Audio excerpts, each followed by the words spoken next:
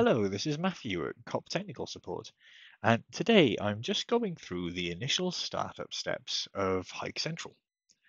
What you're looking at on screen at the moment is the immediately after installing HikCentral version 2.6, you get your web client open up, which is our Microsoft Edge browser, and the Service Manager pop up, which needs to be running for HikCentral to be active in the background. Now this is just installed on my laptop.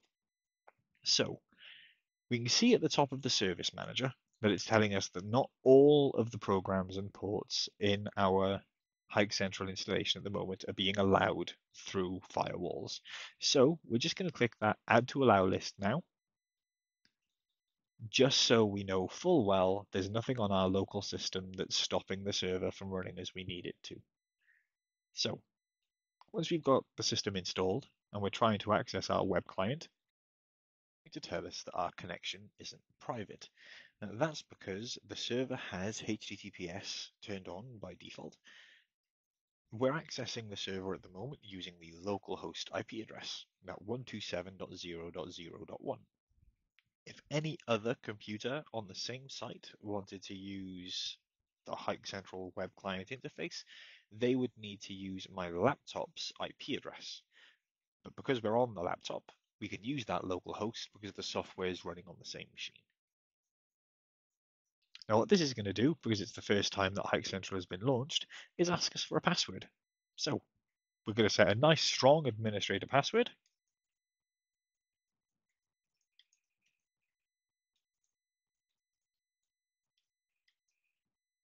and hit next.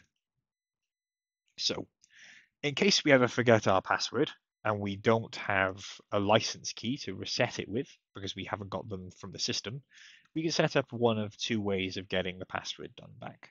Either a verification code to an email or security questions. I'm going to go security questions. And just for the sake of this, because this will be uninstalled shortly after the fact, I'm just going to select questions and make sure you put in proper answer to these questions because obviously it's not something you want people to be able to guess their way through. So that's all I'm throwing in there. And then I'm just going to hit finish. And that puts us now into the start of the HikCentral wizard. It's asking us for a license because HikCentral won't work without at least one base license. So I've got the trial license, so I'm just going to grab that. And I'm doing an online activation because my system is connected to the internet. If you're not connected to the internet, you'd need to select the offline activation. And this then works very similarly to a Hikvision password reset. You would input your license code, you'd accept, you'd tell it it's a physical machine, or a virtual machine, or otherwise, and you generate a request file that'll download to this computer. You then take that on a USB stick to another device, a computer that does have internet access, and you go to this website. On that website, it'll ask you for the request file. You upload the request file, and it'll then give you a response file. Put that response file onto your USB stick, bring your USB stick back to your server machine, and import the file that it's given you on the website and press activate. And that's how you do it in an offline system. But with an online system, which I'm going to click, I'm going to paste in my activation key. I accept, and we can read through this if necessary. And we just hit activate.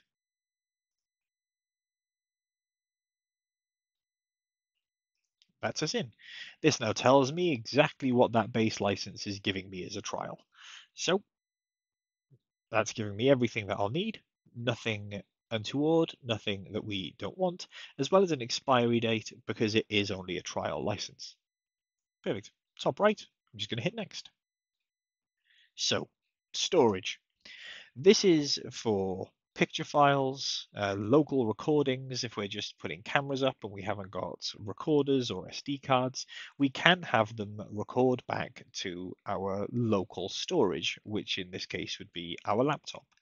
Uh, most times this isn't used and it is put through to recorders or otherwise, but it is absolutely an option. uh, very much the same as if you're using a pStor system. You'd be able to add that through once we add the pStor in, and then it shows up effectively as another disk. But we're not making any changes on this one. We're going to leave this one exactly as is. So I'm just going to skip. It takes us then to user preference. We can give the site a name if necessary. Mine's just staying as professional. The first day of your work week, if you schedule any changes to take effect or anything that wants to run on a week by week basis, scheduled reports, temperature units for anything thermal related, mask related functions for if we're using FaceRec with detect mask or not, and then our calendar type. So again, I'm not changing anything on this page, I'm just going to skip.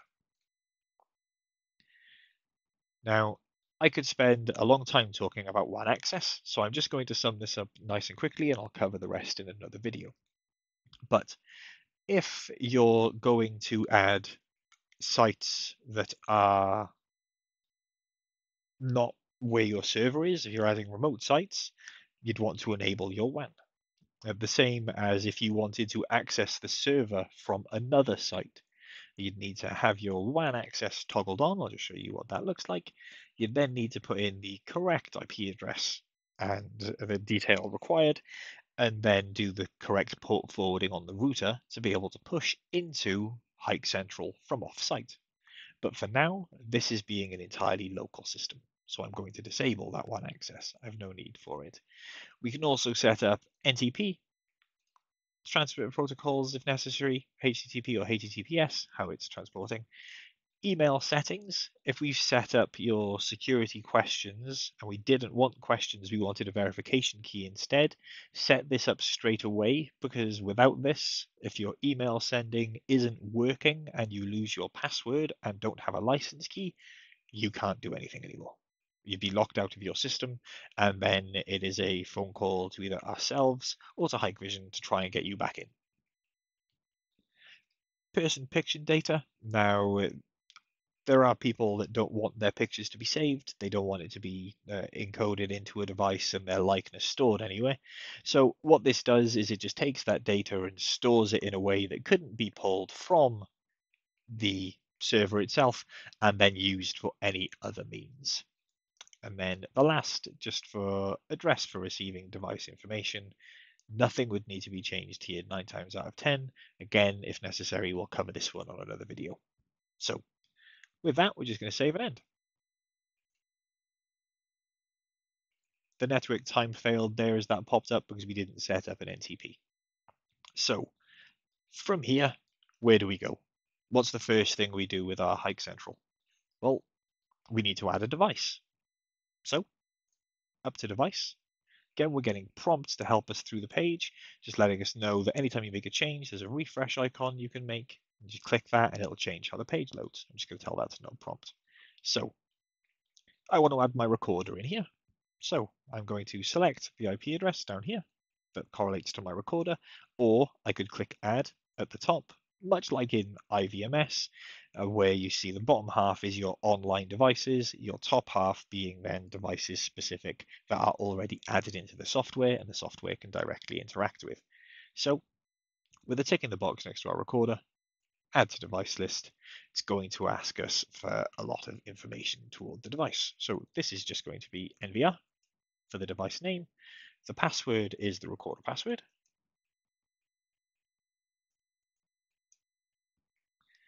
We're going to pull the information for the time from the device's time zone.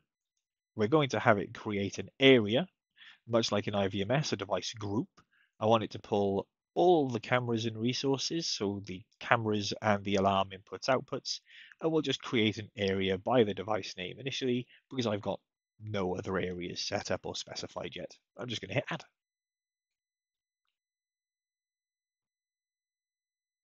And that's it there, telling me that it's pulled everything in. Night mode camera is my camera one. That's what that device is called. And then we close that page and our NVR is added. Okay, so what next? Well, if we want to, we can have a look at the area that this is now created. And seen there that under HikCentral Professional, which is the parent folder of everything else, there's our NVR. We click this and it'll just tell us what's online. what's working, what isn't working, and if there's anything that we should expect that's causing us issues. So this page is just for our cameras specifically. If we go to alarm input, there's our inputs. We go to our output, there's our one output. Something very worth mentioning is that if you add a device, for example, an ANPR camera, but you only import the camera and not its alarm outputs, when it comes to configuring any sort of events that would use the output, they will not show up. If your resource isn't imported and added into an area, HikCentral will not pull that resource up for you to use. So if you're looking to specifically use outputs like with an ANPR camera to open a bollard, a, a, gate mechanism, anything along those lines, make sure that you import all resources. You can get them again after the fact if you forget. You can just come into alarm output and click add and it'll show you a pool of any alarm outputs attached to devices that haven't been added yet, but that's just something to be wary of. So now that we've got that added in, I want to live view it. I want to see my camera. But we don't do that in the web client. We do that in the control client.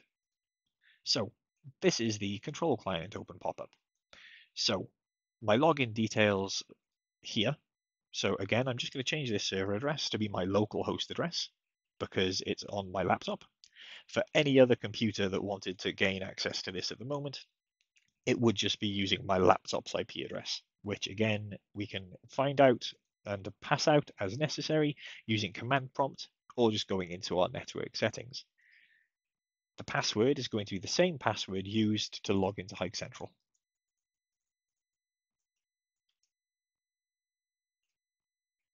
Oh, mistype. That's the problem with using such a long password.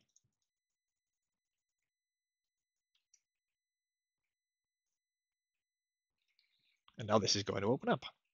Now, again, this is only on my laptop, so unfortunately it isn't built HikCentral. This is one of those times where it's fantastic to say, if you're installing this, please make sure it's going onto a system that is strong enough to handle it. Okay, that's opened up on another monitor. Let's just drag that over here. So you can see here, the HikCentral is telling me, hey, you're using an awful lot of RAM here, friend. Hey, you'll have a bad time if this carries on. So, but ignoring that for the time being, this is the control client this is where most of our monitoring gets done. The web client, which we access through a browser, is going to be where we do most of our setup. And then the control client is where we do most monitoring. So to anyone that's used IVMS, if we go into the monitoring tab, this should look fairly familiar. It's almost the same as the main view page in IVMS.